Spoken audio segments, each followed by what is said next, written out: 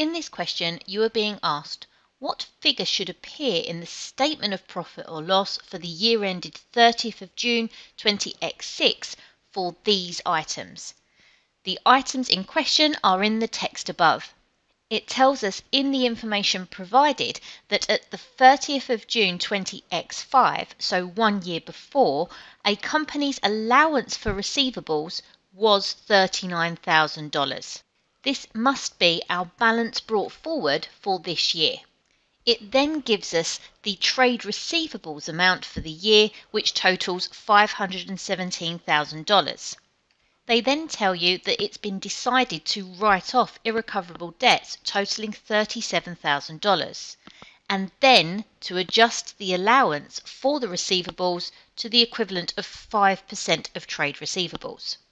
There is quite a lot going on within this information, and so it's a good idea to set out what we need to do. The first thing we should do is adjust for the receivables balance. Once we've done that, we are then in a position to be able to calculate the closing allowance for receivables balance at the 30th of June 20x6.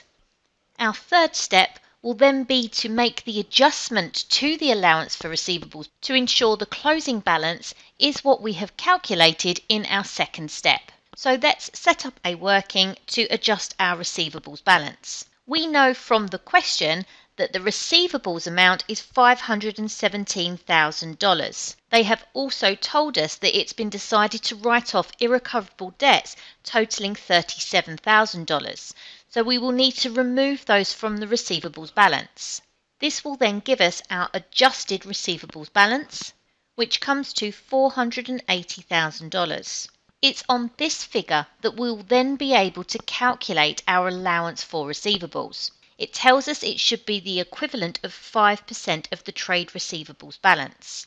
And so if we multiply by 5%, we will get our closing balance for the allowance for receivables, which amounts to $24,000. This is the closing balance for allowance for receivables, but it doesn't tell us what should be included in the statement of profit or loss. Let's look at the ledger account so we can see the movements. We will have an allowance for receivables account, which belongs in the statement of financial position, and will have an irrecoverable debts account, which belongs in the statement of profit and loss.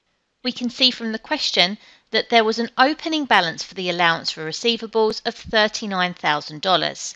This would have been on the credit side. We were then told that there was a write off of irrecoverable debts totaling the $37,000, which we've adjusted in our workings. The double entry for this would have been to debit the irrecoverable debts account and credit the receivables account. And so we will recognise that debit in our irrecoverable debts ledger account. We have then adjusted for the receivables balance, and we have calculated what the closing allowance for receivables is at 5%, which is $24,000. This will therefore be my carry forward balance in my allowance for receivables. What I need to do is work out what the adjustment should be for that balance to ensure that the ledger account agrees for both sides to equal $39,000, my adjustment for allowance for receivables is $15,000.